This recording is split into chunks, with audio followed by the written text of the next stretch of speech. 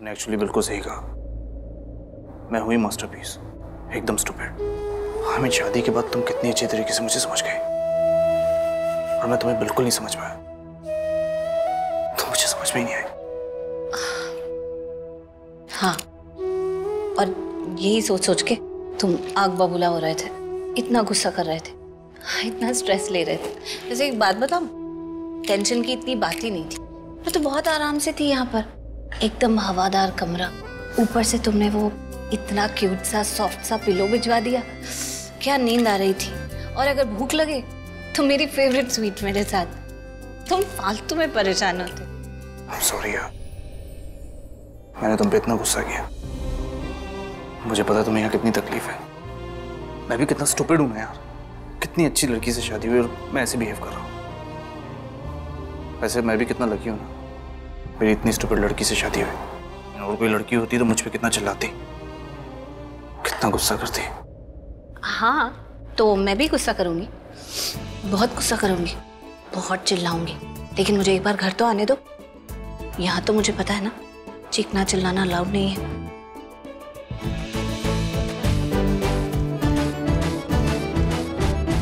मज़ाक कर रही मुझे पता है। तुमसे जितना हो सका, उतना तुमने मेरे लिए किया। और कृतिका की बात सुनने के बाद ही नहीं, उससे पहले ही। हाँ तुम मुझसे गुस्सा थे, इसलिए मेरे सामने नहीं है और ये नहीं कि तुम मेरे लिए कुछ कर नहीं रहे थे।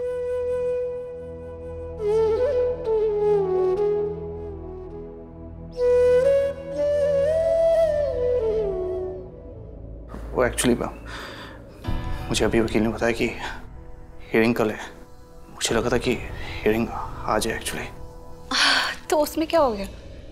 ये तो बहुत अच्छी बात है। एटलीस्ट मुझे एक रात तो मिलेगी जब मैं चैन से सो पाऊँगी। दी करण लूथरा मेरे आसपास नहीं होगा तो कोई चिक चिक भी नहीं होगी कोई चिकना चिल्लाना भी नहीं होगा। सुकून की नींद आएगी मुझे। और मैं भी अपने बेड पे सुकून से सोऊँगा कोई चिल्लाएगा नहीं।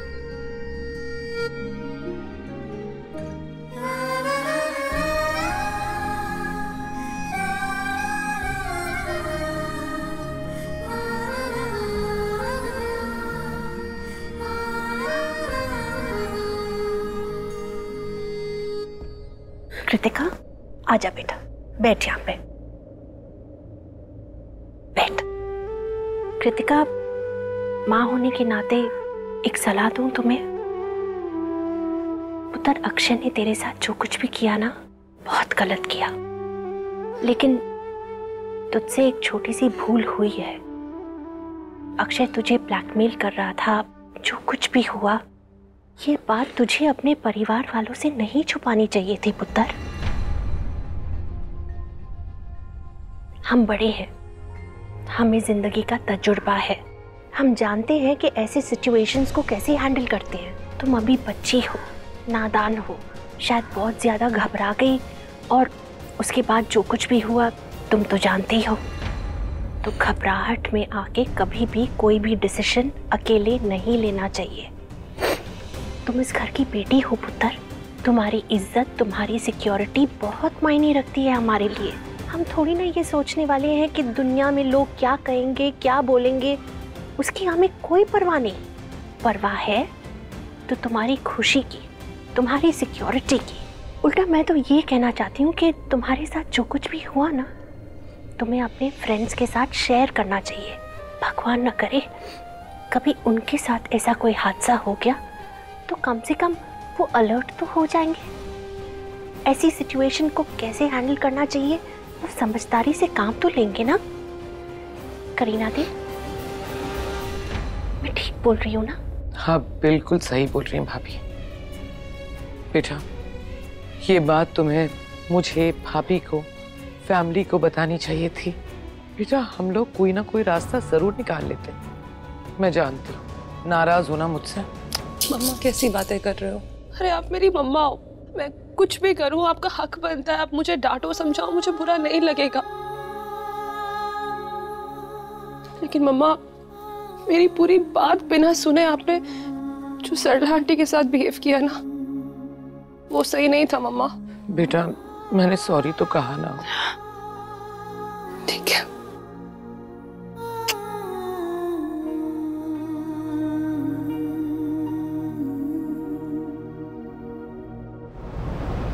ओह नो क्या हो गया? अरे गाड़ी का पेट्रोल खत्म हो गया भराना पड़ेगा यार। What you mean by petrol भराना पड़ेगा? खत्म कैसे? यार गाड़ी में पेट्रोल नहीं है और इन्वेस्टिगेशन करने निकले हो। मुझे एक बात बताओ। अगर किसी इंपॉर्टेंट जगह अर्जेंटली पहुँचना होगा तो क्या करोगे? हम तो बीच में अटक जाएँगे ना क्योंकि पेट्रोल नहीं है गाड़ी में। अरे रुको, रुको, रुको।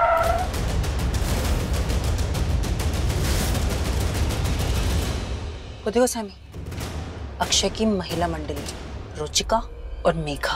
दोनों को देख के लग रहा है झगड़ा कर रही है। क्यों?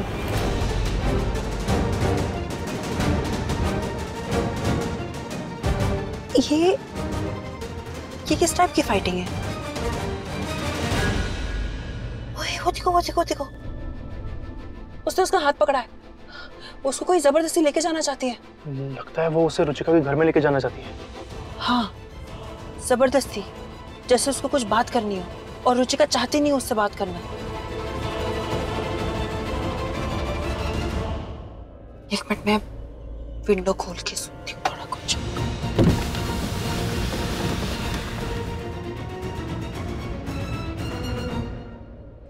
कहाँ? कहाँ? बात करनी कर। है ना मेघा। मुझे नहीं बात करनी है अच्छा मुझे बात करनी है तुझे नहीं करनी नहीं बात। क्यों? डर लग रहा है। सुनना है? हाँ। तुम हम दोनों के बीच में आई थी मेघा और आज तुम्हारे वजह से अक्षय मेरी लाइफ में नहीं है। ऐसे नहीं मानी। चल मेरे साथ।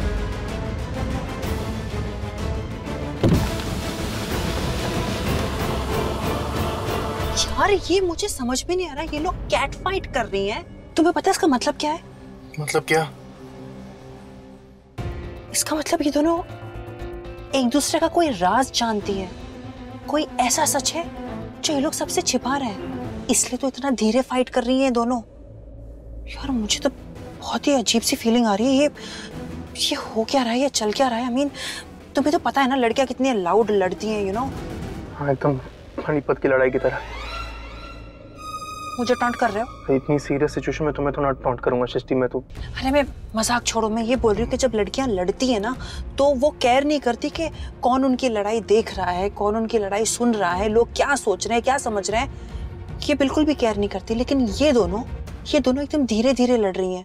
मुझे तो ऐसा लग रहा है कि ये ये कोई ना कोई बहुत बड़ी गड़बड़ बहुत बड़ा सीक्रेट है जो ये सबसे छुपा रही है ये। तुम एकदम सही कह रही हो सृष्टि चलो उनके पास चलते हैं और उनकी सीक्रेट जानते हैं।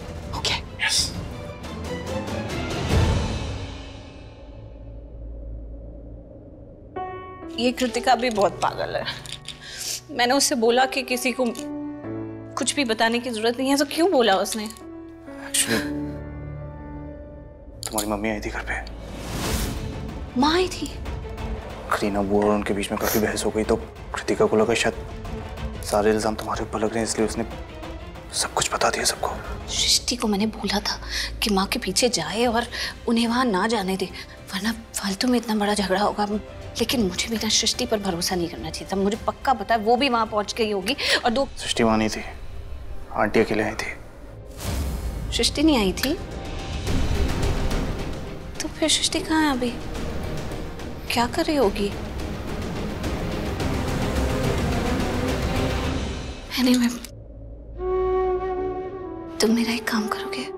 बोलो ना। मेरी माँ के पास जाकर एक छोटा सा झूठ बोल दोगे? प्लीज़ उनको बस कह दो कि मैं ना कल यहाँ से रिहा हो ही जाऊँगी हंड्रेड परसेंट मुझसे नहीं होगा मैं झूठ नहीं बोल सकता उनसे। ये झूठ मेरे लिए ही नहीं है माँ की हेल्थ के लिए भी है ना। पता है वो इतना स्ट्रेस ले रही होंगी ना इस वक्त कि मैं यहाँ जेल में हूँ उनको नींद नहीं आएगी और उनके लिए स्ट्रेस लेना बिल्कुल ठीक नहीं है। ये तो मैं नहीं कर पाऊँगा यार ये सब। मेरी माँ की तबीयत खराब हो जाएगी उनके लिए कर लो ना एक छोटा सा छूट बस उनको आज ये तसल्ली हो जाएगी कल मैं रिहा हो जाऊँगी तो वो आराम से सो जाएँगे। प्लीज़ मैं सला आंटी से जाके कह दूँगा कि तुम सच में कल जेल से रिहा हो जाओगे।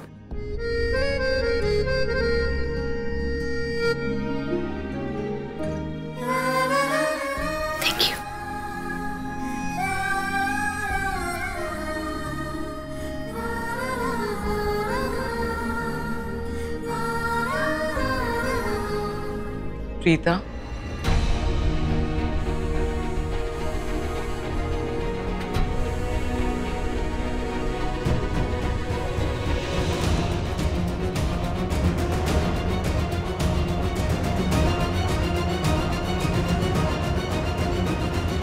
मेघा, मैं दोबारा बोल रही हूँ कि बस करो, मुझे अकेला छोड़ दो।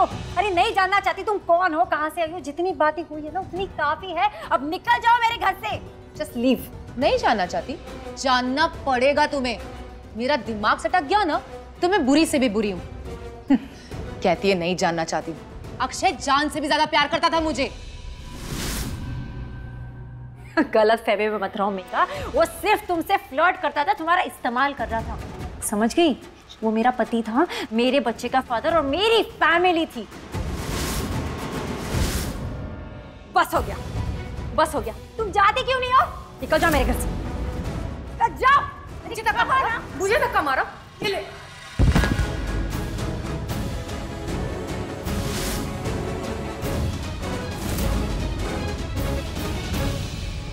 पाँच तक गिनूँगी। पाँच सेकंड में अगर तुम मेरे घर से नहीं निकली ना तो मैं तुम्हारा सच सबको बता दूँगी ठीक है? ओ मुँह खोलने की हिम्मत भी मत करना। तुम्हारा छिपाया सच ना मुझे भी पता है। जा रही हूँ मैं। पर ये मत समझना, तुम्हारी धमकी से डर गई। बहुत काम है मुझे। गेट लॉस्ट जा रही हूँ।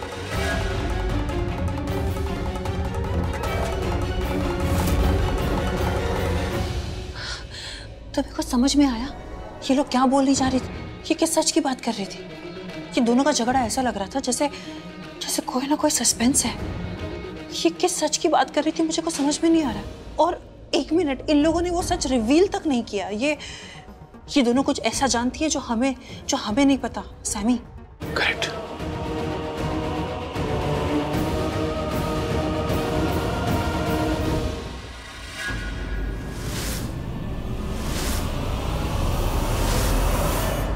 तुम तुम दोनों यहाँ क्यों आए हो? क्या चाहिए तुम्हें मुझसे? हमें तुमसे कुछ बात करनी है। देखो रुचिका हमने सब कुछ सुन लिया है। हमें पता है तुम मेघा से क्या बात कर रही थी। पता नहीं तुम किस सच के बारे में बात कर रही थी। कहीं अक्षय को लेकर तुम कुछ जानती तो नहीं? क्या जानती हो बताओ ना प्लीज़ कुछ नहीं है। मुझे इस बारे में बात नहीं करनी है। प्लीज़ तुम जाओ यहाँ रुचिका। देखो रुचिका हम तुम्हारे कोई दुश्मन नहीं है। ना ही यहाँ पे तुम्हें कोई चोट या नुकसान पहुँचाने के लिए आए हैं। बस इतना बता दो कि अंदर यहाँ क्या चल रहा था। किस सच के बारे में बात करी थी। सच बता दो हम चले जाएँगे। कोई सच नहीं है कुछ बात नहीं करी थी कुछ नहीं छुपा रही मैंने। कहा ना तुम जाओ यहाँ से। झूठ मत बोलो रुचिका। हमने अपने कानों से सुना है कि तुम मेघा के साथ लड़ाई कर रही थी। ऐसी कौन सी बात है जो मेघा तुम्हारे बारे में जानती है? और तुम उसके बारे में क्या सच जानती हो? मैंने खुद अपने कानों से सुना है कि तुम उसको बोल रही थी कि तुम वो सबको बता दोगी। तुम क्या बताओगी? तुम दोनों एक दूसरे के बारे में ऐसा क्या जानते हो? ऐसा क्या छिपा रहे हो? हमें जानना है रुचिका प्लीज़ तुम ऐसे नहीं मानोगे ना? ठीक है रुको। रुचिका।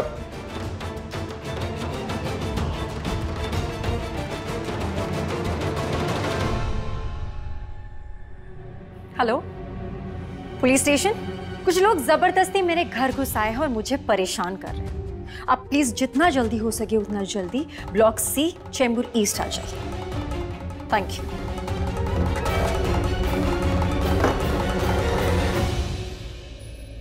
देखो मैंने पुलिस को फ़ोन कर दिया है और वो किसी भी वक्त यहाँ कभी भी आ सकती है। तो अगर तुम दोनों को ना इस पुलिस के चक्कर में नहीं पड़ना है तो अभी के अभी मेरे घर से निकल जाओ जस्ट लीव चले जाएँगे रुचिका। बस सच बता दो प्लीज़ हम चले जाएँगे। रुचिका अब छुपाने से कोई फ़ायदा नहीं होगा। हमने ऑलरेडी तुम्हारी बातें सुन ली है। और तुम्हें क्या लगता है? अगर पुलिस यहाँ पर आएँगी तो क्या हम सिर्फ़ दोनों फंसेंगे? तुम भी पुलिस के चक्कर में फंसोगी तुम्हें भी पुलिस लेके जाएगी। वाह मेरे घर आके मुझे धमका रहे हो? हाँ? You know what just wait अभी पुलिस आती होगी और फिर छूटेगा तुम दोनों से मेरा पीछा। जस्ट वेट एंड वॉच तुम्हें क्या लगता है? तुम ऐसे यूँ पुलिस को फ़ोन करोगी और हम लोग डर जाएँगे? या तो तुमने शायद पुलिस को फ़ोन किया ही नहीं। तो तुम एक्चुअल में नाटक कर रही हो। हमें डराने की कोशिश कर रही थी। और जहाँ से मैं देख रही हूँ, पुलिस का नाम लेते के साथ ही तुम्हारे चेहरे का रंग उड़ रहा है।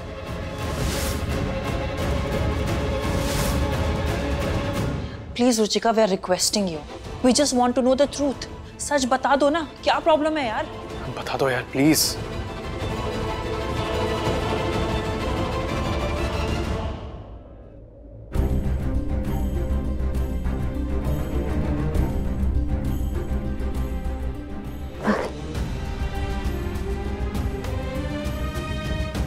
प्रीता मैंने कृतिका से सॉरी कहा। तुमसे इतना बुरा बर्ताव किया मैंने। इतना भला बुरा कहा तुम्हें। कितनी बदतमीजी से बात की तुमसे। मैंने कृतिका से सॉरी कहा। लेकिन कृतिका ने कहा कि मुझे सच्चाई का पता नहीं था। अगर सच्चाई का पता होता ना तो मैं इस तरह से रिएक्ट नहीं करती। अगर सच्चाई का पता होता तो मैं तुमसे मिलने में इतनी देर नहीं लगाती। पहले ही आ गई होती। मैंने बहुत बुरा किया है, तुम्हारे साथ प्रीता घर में सब तुम्हारी मदद करना चाहते थे, पर मैंने सबको रोक दिया। मदद तो दूर की बात है। मैं नहीं चाहती थी कोई भी तुमसे यहाँ आके मिले। ये जानते हुए भी कि तुम्हारी फैमिली में ऐसा कोई नहीं है। जो तुम्हारी हेल्प कर सकता है। आई मीन टू से कोई जेंट्स नहीं है। करण तुमसे नाराज़ था। पर मैंने करण को भी समझाने की कोशिश नहीं की। मैं हर बार तुम्हारे साथ इतना रूडली बिहेव करती हूँ। इतना सब कुछ सुनाती हूँ तुम्हें। पर तुम, तुमने मेरी बेटी के लिए इतना सब कुछ किया। उसे बदनामी से बचाए, उसकी इज़्ज़त बचाई। आज मेरी बेटी की खातिर तुम यहाँ हो। मुझे तुम्हारे साथ ऐसा नहीं करना चाहिए था प्रीता। तुमने बहुत मदद की है हमारी आई वेरी सॉरी प्लीज़ ऐसे मत कहिए। भाभी आई एम सॉरी टू मैंने आपको दिया हुआ प्रॉमिस तोड़ दिया। आपने मुझसे कहा था ना कि ये सीक्रेट किसी को ना बताऊँ लेकिन आपकी ये हालत देखी नहीं गई और सबको सब कुछ बता दिया मैंने। ऐसी कोई बात नहीं है वैसे करण तो मेरे साथ ही था। भले ही मेरी आँखों के सामने नहीं था, लेकिन मेरे आसपास था, मेरी फ़िक्र कर रहा था। जो कर सकता था वो कर रहा था। और आपको पता है कि महेश पापा भी मुझसे मिलने आए थे। और भले ही उन्हें बहुत सारी चीज़ें याद ना हो, उन्हें ये याद था कि मैं उनकी बेटी हूँ। और उन्होंने मुझे ये भी कहा कि वो मेरे साथ है। आपको पता है उनकी ये बातें सुनकर मुझे कितना सुकून आया। सिर्फ़ मेरा एक परिवार नहीं मेरे दोनों परिवार मेरे साथ थे। तो आप प्लीज़ सॉरी मत कहिए, आपकी कोई गलती नहीं है।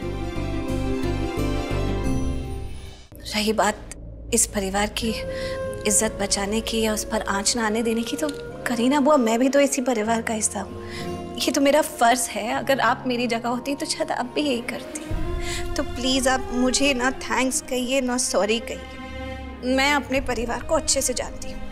सबका समझने, गुस्सा करने का, नाराज़ होने का तरीका भले ही अलग अलग हो। लेकिन सबका दिल बहुत साफ़ है। सबके दिल में सिर्फ़ प्यार ही है। मुझे आज समझ में आया है कि तुम्हें हमारी कितनी परवाह है। कितना सोचती हो तुम हम सबके बारे में। जब कृतिका को किसी अपने की ज़रूरत थी तो तुम ढाल बन के उसके सामने खड़ी रही। उसकी मदद की तुमने। मेरी बेटी की इज़्ज़त को बचाया। अगर तुम नहीं होती तो पता नहीं क्या हो जाता मेरी बेटी के साथ। तुमने बहुत कुछ किया इसके लिए, कृतिका की वजह से। तुम इस हाल में हो। I am really sorry Pritam. Kareena बुआ, मैंने आपसे कहा ना, आप प्लीज़ मुझे सॉरी मत कहिए। और, मैं यहाँ ज़्यादा देर नहीं रहने वाली। हूँ कारण है ना वो कुछ भी करके मुझे यहाँ से बाहर निकाल ही लेगा। अब देखना